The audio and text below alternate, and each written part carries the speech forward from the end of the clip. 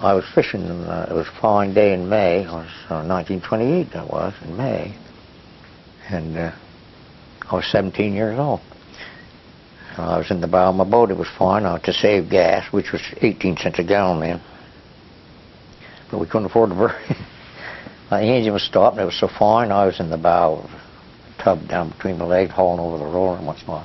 And I heard a, a buzzing sound, you know. Like, I didn't know what. I'd never seen an airplane in my life.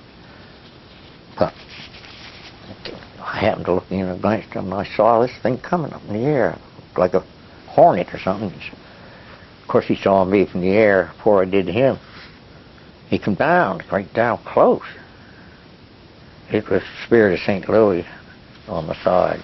Charles Lindbergh, a little white biplane.